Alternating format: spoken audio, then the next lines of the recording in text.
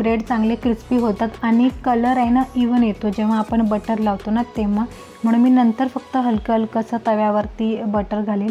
बस थोडंसं तवा गरम केला आणि त्यानंतर आपल्याला हे जे आपलं सँडविच बनवले हे आपल्याला लावायचं आहे. त्यानंतर त्याला हलकं हलकंसं मी बटर लावून घेते वरून. थोडंसं मेल्ट करून घेतलं होतं मी बटर जेणेकरून ते लावायला इझी पडेल. आणि छान मीडियम फ्लेमवरती आपण मस्त क्रिस्पी असं हे छान शेकून घ्यायचं. कलर बघा खूप सुंदर आलेला आहे. थोडं थोडंसं ना ते साईड त्याचे चेंज करत राहायचे म्हणजे फिरवत राहायचं. म्हणजे सगळीकडून जी हीट आहे ना ती म्हणजे एकसारखी लागते आणि इवन कलर येतो ना सगळ्याला म्हणून. सो पहिले दोन मी छान भाजून घेतले सँडविच आणि त्यानंतर ही दुसरी बॅच आहे. तीन अंड्यामध्ये चार सँडविच झाले होते आमचे. सो आता सँडविच मी कट करते आणि तुम्हाला दाखवते किती छान अगदी झटपट बनतात. आणि आतून बघा म्हणजे मी ह्याच्यामध्ये ना चीज ॲड केलेलं आहे ना काही. तुम्ही चीज वगैरे पण ॲड करू शकता. पण चीज वगैरे न घालतासुद्धा छान झाले होते. टेस्टला पण खूप मस्त हेल्दी आणि बनवायला एकदम सोपे. अगदी बॅचलर मुलं असतील तर तीसुद्धा बन अगदी झटपट बनवून खाऊ शकतात. काही याच्यामध्ये जास्त आपल्याला कुकिंग करावी लागत नसत नाही. त्यामुळे मस्त हेल्दी असा हा नाश्ता आहे. आणि मेन म्हणजे बराच वेळ आपल्याला हे फुलफिल ठेवतं. सो नाश्ता वगैरे आम्ही करून घेतला. थोडासा त्याच्यानंतर थोड्या वेळाने चहा पण घेतला. आणि आत्ता जेवणाची तयारी चालली जेवणाची म्हणजे डब्याची तयारी चालली आहे. सो इथे ना दोडक्याची भाजी करते मी. दोडके मी ना एकदम फाईन पण आहे पण मीडियम साईजची अशी कट करून घेतलेत कट केलेत धुतलेत. आणि आता तेलामध्ये जिरं घातलं एक मिडियम साईजचा कांदा बारीक कट करून घातला. त्याला जेव्हा फिफ्टी पर्सेंट तो झाला ना डन त्याच्यानंतर मी आलं आणि लसूण ठेचलेलं एक चमचा घातला. बस हे आलं लसूण छान ब्राऊन होईपर्यंत आपण फ्राय करून घ्यायचं. त्याच्यामध्ये टॉमॅटो घातला. छोट्या साईजचा टॉमॅटो होता. थोडीशीच भाजी करायची होती म्हणून अर्धा टॉमॅटो घेतला होता मी. मग ते सगळं व्यवस्थित मी फ्राय करून घेतलं मीठ घालून. आणि मग त्याच्यामध्ये बेसिक जे आपले मसाले असतात रोजचे धण्याची पावडर लाल तिखट हळद हे सगळे मसाले थोडे हलके हलके भाजून घेतले आणि त्याच्यामध्ये मी दोडका घालते. तर आज आहे ना दोडका मी मुगाची डाळ घालून बनवते. मसुरीची डाळ वगैरे पण आपण घालू शकतो. मसूर डाळीचा पण घालून दोडका खूप छान होतो. तर आज म्हटलं डाळ ह्याची घालावी. मसुरीची डाळ काय होते माहिती आहे? एकदम पूर्ण मॅश होऊन जाते त्याच्यामध्ये. पण मुगाची डाळ शिजते पण आणि ती दिसते सुद्धा भाजीमध्ये. सो म्हणून आज मसुरीची डाळ घातली आणि हे आपलं काम आहे ना बचतीचं. कारण लेडीज लोकांना बचत करायची खूप सवय असते ना. सो मी तेलाचं आत्ताच पॅकेट फोडलं होतं ना डब्यामध्ये ठेवलं होतं. तर म्हटलं पीठ पण मळलं. सो त्या पॅकेटमधूनच मी असं पीठ थोडंसं फिरवून घेते जेणेकरून त्याला लागलेलं एक्स्ट्राचं जे तेल आहे ना तर ते पण यूज होऊन जाईल. कारण सवय असते. हे असं आपण म्हणजे कधी जेव्हा पीठ मळलेलं नसेल तर टाकून म्हणजे त्यावेळेला टाकू शकतो. पण आता म्हटलं मी त्याच वेळेला पीठ पण मळते ना. सो त्याच्यामध्ये आपलं पीठ पिठाला पण थोडंसं तेल लावून होईल. सो ते सगळं केलं. तर पीठ मळून ठेवलं मी. आणि तोपर्यंत म्हटलं कपडे वगैरे सुकत घालावेत. तोपर्यंत पीठ दहा पंधरा मिनटं मुरेल. कारण पीठ जेव्हा आपण चांगलं मळतो आणि त्यानंतर दहा मिनटं ठेवतो ना मग त्यानंतर त्याच्या ते पचायला चपाती खूप चांगली जाते पोटामध्ये गेल्यानंतर ती गॅस नाही बनवत.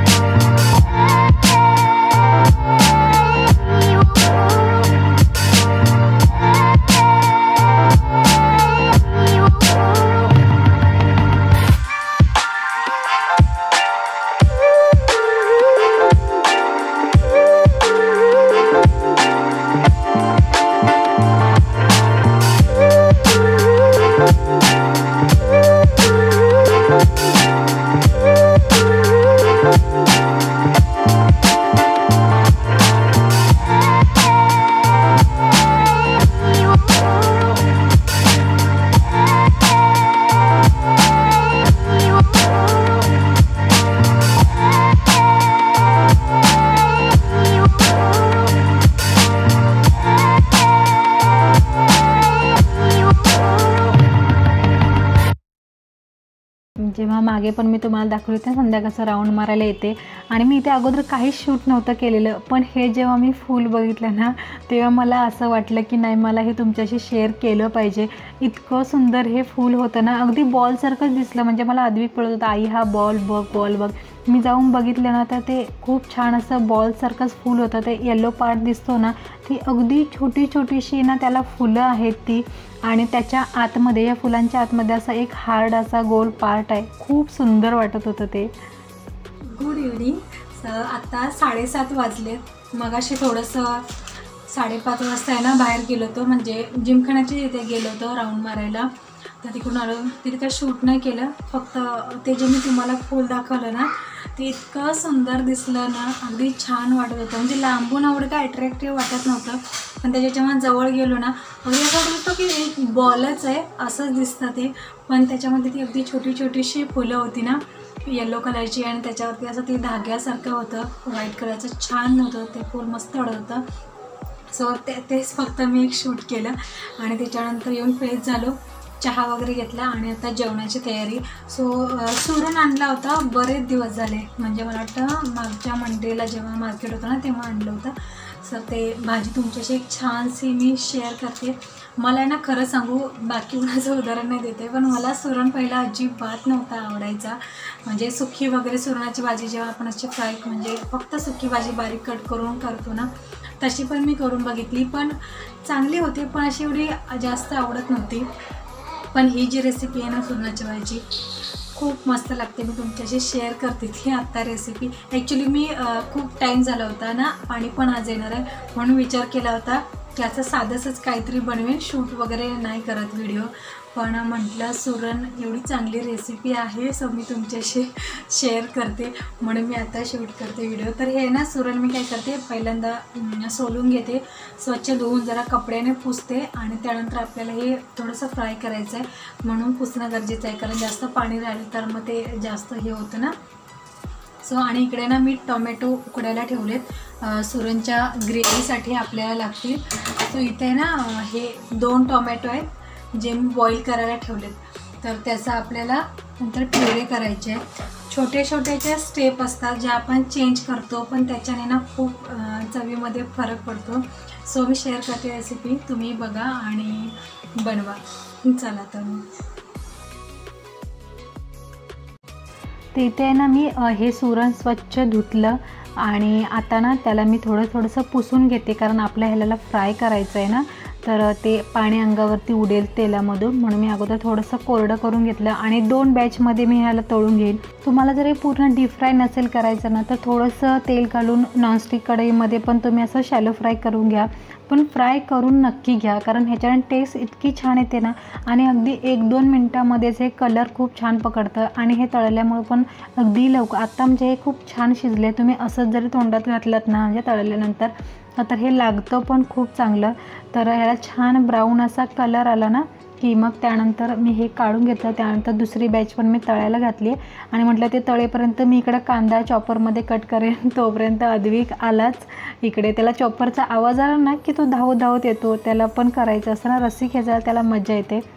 आणि इकडे मी टॉमॅटो ठेवले होते ना उकडायला तर ते पण चांगले बॉईल झालेत. त्याच्यातलं मी पाणी काढून टाकलं जेणेकरून ते थंड व्हावेत म्हणून. आणि इकडे मी दुसरी बॅच पण आता आपली होती आहे तयार.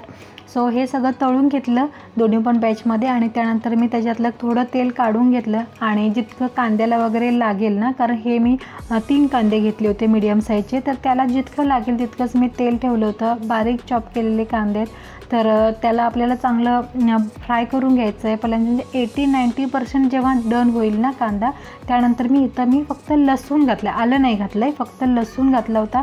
आणि मस्त आता कांद्याला आणि लसणारं ब्राऊन कलर येईपर्यंत फ्राय करायचं. आणि त्यामध्ये घालायचं आहे कसुरी मेथी आणि कोथिंबीर.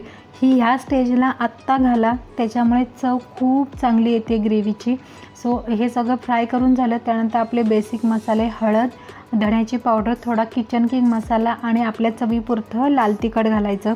हे मसाले मिक्स करून घेतले हलके हलके. आणि मगाशी जे आपण बॉईल केलेले टॉमॅटो आहेत ना तर ते टॉमॅटोची तुम्ही पेस्ट ॲड करायची.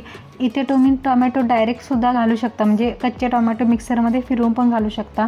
पण हा थोडासा चेंज केला ना तरी पण हलका हलका चवीमध्ये पण चेंज होतो. तर असं करून बघा. नसेल जर वेळ तर डायरेक्ट तुम्ही मिक्सरमध्ये फिरवून कच्चे टोमॅटोसुद्धा ॲड करू शकता. तर फक्त फरक काय एवढाच की मला इथं ही ग्रेव्ही शिजायला जास्त वेळ नाही लागला कारण ऑलरेडी टोमॅटो हा कुक होता ना त्यामुळे. तर आता इथे मसाला छान फ्राय झाला तेल सुटायला लागलं. तर आता मी इथे ना दोन मोठे चमचे दही घालते. जास्त घट्ट पण नाही आहे दही नॉर्मल कन्सिस्टन्सीचं असेल तरी पण चालू शकतं. आणि आता स्लो गॅसवरती या दह्याला आपल्याला कंटिन्यू हलवत आता पूर्ण या ग्रेव्हीमधून तेल बाहेर येईपर्यंत आपल्याला फ्राय करून घ्यायचं. जेणेकरून ते दही फुटलं नाही पाहिजे नाहीतर मग ग्रेव्हीची पूर्ण टेस्ट बदलून जाते. तर ग्रेव्ही छान मी भाजून घेतली आणि इथं आपल्याला करायचे गरम पाणी. थंड पाणी ॲड करू नका नाहीतर चव अजूनच कमी होते खूप कमी होते. म्हणजे मेहनत मगापासूनची सगळे वाया जाईल. सो गरम पाणी मी घातलं त्यानंतर चवीपुरतं मीठ घातलं आणि इथं बघा तुम्ही ग्रेव्हीची कन्सिस्टन्सी इतका सुगंध छान येत होता ना की असं वाटत होतं जर मला शक्य असं ना तर फोनमधून मी तुम्हाला ह्या ग्रेव्हीचा सुगंध दा म्हणजे दिला असता की बाबा इतकं छान झाली होती ही ग्रेव्ही. त्यानंतर आपण ह्याच्यामध्ये फ्राय केलेले सुरण घालायचे आहेत.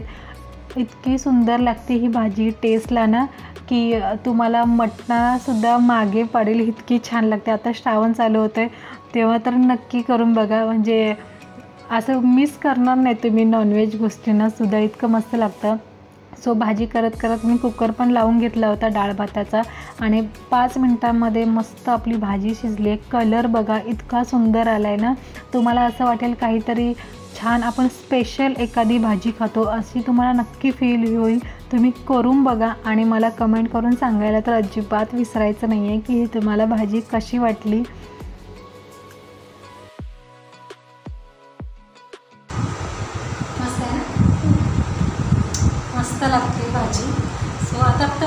वरणाला फोडणी घालायची ती मी घाले आणि साहेबांना कधीपासूनची गडबड लागली होती की दे खायला दे खायला. त्याला दिले मिस्टरांची सेकंड शिफ्ट आहे तर ते उशिरा येतील. आत्ता पावणे नऊ वाजले पाच मिनटामध्ये म्हणजे पाणी येईल. सो पाणी मी भरायचं आहे. बाकीचं सगळे कामं आवडून घेते. ॲक्च्युली दुपारी काय आलं माहिती आहे का? दुपारी थोडा वेळ कंटाळा आला होता. कंटाळा आला होता म्हणून अर्धा तास पिक्चर बघत बसली मी. आणि त्यात कपडे इस्त्री करायचे राहिले. तर आता पाणी वगैरे झालं ना म्हणून की मग ते इस्त्री करायचे. आणि ते किचन वगैरे आवरून मग झोपेन. कारण सकाळी उठून किचन आवरून परत जेवण करायचा खूप कंटाळा येतो. रात्री सगळं क्लीन असेल ना तर सकाळी काहीतरी बनवायची अशी इच्छा होते. आणि हां आणखीन एक मला सांगायचं होतं की खरंच थँक्यू तुमच्या सगळ्यांच्या ज्या काही कमेंट्स येतात त्या म्हणजे मला आता सांगायला शब्द नाहीत पण खूप छान वाटतं मला तुमच्या सगळ्यांच्या कमेंट्स वाचून. अगदी मोटिवेशन येतं. भलेही कमी येतात कमेंट्स ठीक आहे. हळूहळू जशी आपली फॅमिली ग्रो होईल तशा त्या कमेंट्ससुद्धा वाढतील. पण ज्या काही येतात खूप पॉझिटिव्ह कमेंट्स येतात. खूप काही लोक आपले सजेशन वगैरे देतात. भलेही म्हणजे ज्यांच्या ज्यांच्या म्हणजे कमेंटला फोटो वगैरे आहेत ना म्हणजे आय डीला तर ते मला कळत म्हणजे ते चेहरा आपण बघू शकतो. पण ज्या ज्यांचं हे नाही आहे ना म्हणजे तुम्ही मला बघताय पण आता ज्यांच्या फोटो वगैरे नाही आहे ना आयडीला तर त्यांना फक्त मी असं इमॅजिन करू शकते त्यांच्या बघण्यावरून सो खूप छान वाटतं मला तुमच्या कमेंट म्हणजे छान छान कमेंट्स येतात आपले व्हिडिओ पाहत राहा. हा व्हिडिओ मी आता एक्सप्लेन करते. तुम्हाला जर हा व्हिडिओ आवडला असेल प्लीज लाईक करा. चॅनलला सबस्क्राईबसुद्धा करा. Thank you for watching take care bye 五袋。